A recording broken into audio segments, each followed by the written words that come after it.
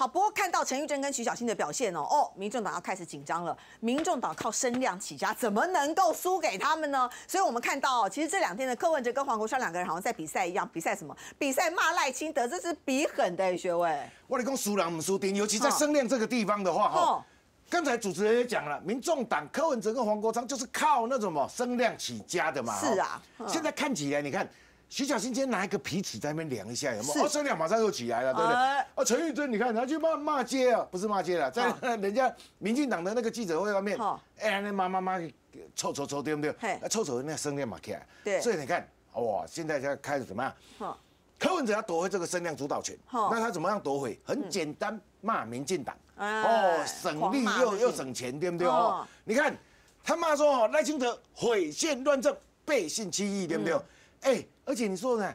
哎，事件案没有结果之前，你们不要给我轻举妄动哦，你这是在恐吓大家了。嗯所以他讲说什么？哎，历史上哦，没有因为天灾瘟疫而亡国的，有的只是领导人亡国。什么？他举还举一个例子，叫做希特勒。哦，所以你看，哎，马上那个总统府发言人那个雅慧啊，郭雅慧就出来讲了，对不对？柯文哲啊，将经由民主体制产生的总统视为希特勒，是台湾民主自由最大的侮辱耻辱，哦，对不对？哎，他就很火大了，对不对？那中东是自由民主算出来呢？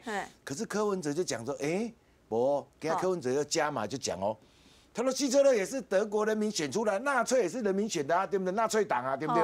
所以你看，提醒赖清德尊重法律，个人凌驾法律是独裁的第一步。哦，哎哎，今天柯文哲有读书哦，他知道。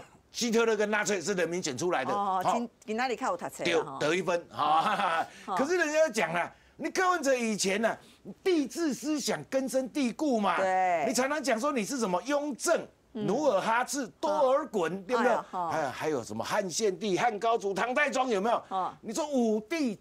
五度了，五度称帝，你这才疯狂嘛！嗯，你从以前就一直觉得自己是皇帝呀，对不对？那到底是谁充满了独裁思想？哦，这个柯文哲，你要解释一下，我才称赞你有读车，所以你把这些他给车贴出来公话嘛呀！哦，我们比方姐，对不对？好，那接下来黄国昌，黄国昌也开始骂了，哦，对不对？他说：“你看赖清德不止不不要只敢躲在发言人的身后啦，哈，这样不仅没有诚信，又显得毫无担当嘛，对不对？”嗯。啊，好，那说真的，你看，不要躲在发言人背后，对不对？民众党发言人这个时候就粉墨登场。啊，吴一些的出来讲啊，你看，哎，柯文哲跟黄国昌是在帮民民进党导正是非，拯救台湾民主啦，哦，国会改革照妖镜，照的你民进党里外不是人呐，哈，那我刚刚就好笑了哈，哎，你柯文哲是因为总统选不掉，对不对？现在幻想自己是救世主吗？对啊，对不对？啊，拯救你还要拯救到民进党去。那民进党还跟你讲吼，免你给薄，对不对？真的还帮民进党保证，是不是还拯救台湾民主嘞？真的干你什么事嘛？对不对？差事啊，对不对？你还拯救民进党的，拯救台湾的那个那个导正，是不是台湾民主了？对不对？嗯，恨不得民进党灭亡了，对不对？所以我就跟你讲说吼，个人作业个人担，哦，对不对？所以柯文哲你也别给薄哈，人家做了什么事情的话，你自己好好做你的事情就好了。为什么？你看，我就跟你讲说，其实哈，现在大家讲说，哎，大罢免时代来临嘛，对不对？明年二月开始之后，立法院开始罢嘛，对不对？哦。那大家都讲说，你看，很简单的，哎，你那个民众党，八席全部都是不分区嘛，对，罢也罢不掉，那怎么办？他们现在开始说火大了，哦，哎哎，现在说实在话，我弟弟讲吼，赢叫唔好赢位，对不对？你唔好讲，其实讲你八席立委罢不掉的，我背。背些仔仔对不对？你就开始笑人家，你看，哎，现在那个徐府啊，连徐府哎，就顾不听的徐府啊，对不对？民进党副秘书长，他进来就开始讲了，你看，挺立的青鸟跑掉了百分之七十，哎，跑掉七成了，对不对？你不是号召十万吗？对不对？那接下来剩三万呐，招去写去呀嘞，对不对？就表示说你民进党造谣宣讲，成反效果啊。我是觉得说哦，你要讲的话哈。真的不要讲到青鸟了，哦，青鸟走了是他们自己自觉走了啦。可是你要想到啊，青鸟上街头也是自觉来的，对啊，对不对？所以这种东西不要做类比哈，这个敏感不要做类比了哈。好了，他们就讲说，哎，你看青鸟大部分是走了，大半大半的鸟飞走了嘛，所以他接下来要透过洗脑宣讲，哦，对不对？要到明年二月宣发动罢免，对不对？哦，啊，罢免几个国民党的立委，对不对？哈，民进党立委就能补上。好，哎，真的有这么好的事情吗？我也觉得真的有这么好的事情嘛，对不对？不要想太多哦。我跟你讲，到明年二月，这个罢免的能量哦要持续下去。我常常在讲说，罢免要师出有名，筹政值要够。对不对？你一直讲罢免，而且现在更夸张的是，哎，罢免要罢到什么？林真宇和学姐身上，立委罢不掉，开始罢议员。哦，你干后，我是觉得哦，我个人认为，哎，哎。我们选举，我才讲过，现在台湾两年选一次，中间休一年，还要差一个罢免，哎，今天休假了吧？对不对哈？而且说真的，你要师出有名嘛，对不对？你天天罢免，哎，真的仇恨值有这么高吗？不过有些人真的是很气民众党啊。啊，不是气归气嘛，我就常常说民主的价值就四年选一次嘛。你刚刚一做了不好，今天没赛。啊，就该票卖打而已啊。嗯，对不对？这不就是比人头比数字啊？你中间还要穿插一个那个罢免，我是刚刚想想想无聊了哈。这个个人真的是真的觉得太无聊。那你说简书培这么认真的啊？你如果因为仇恨值，你说要把简书培扒掉，我也不会答应啊。对对对，是这个有必要吗？哦，真的没有必要了哈。好了，那黄国昌，你看你给那里公，哎，他嫌自己仇恨值不够高，是不是？不是，我是跟你继续杠青鸟哦。这块能够就是。弄安那你知道？西西豆又卖西饼豆啊，对不对？我给他就一直骂嘛，对不对？你零二零六二二那那天晚上晚会人很少，他就告诉你说我们没有提供红酒煮牛肉啊，哦，也没有粥啊，哦，所以来的人当然少啊。那你下次提供给我看看有没有真的人多多少？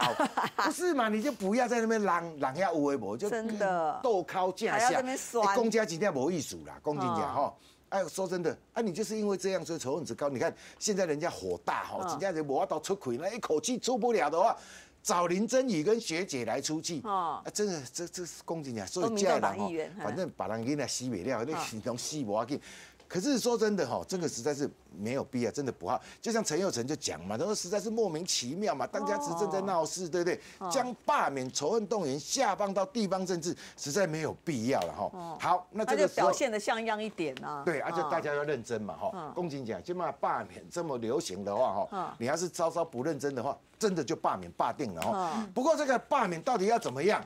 现在在看傅昆萁跟柯文哲两个人的思的想法嘛，对不对？嗯。哎，傅文琪讲说，我看柯文哲骂几言呢，对不对？两个人骂鸡说沟通之后，啊，这个要不要提高罢免门槛？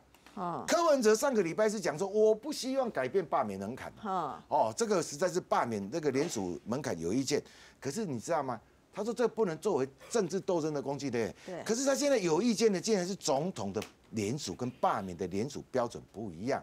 他说要罢免总统，为什么这个可以跟罢免立委联署那个不一样？对，所以一言一数是公要玩就玩大的。哦，搞了半天原来是想玩大的。不要只罢免立委哦，那冲着冲他大惊，罢免总统，对不对所以是不是这个意思？我是不知道啦。你不是说不要把罢免当做一个政治仇恨、政治斗争的工具吗？哦，对对。可是我说实话，柯文哲哈，我上个礼拜已经告诉大家，我一直在强调一点哦，柯文哲讲的话不要相信。哦，随时都会更动了。嗯，他现在是拿那个什么提高罢免门槛这个这个修法有没有？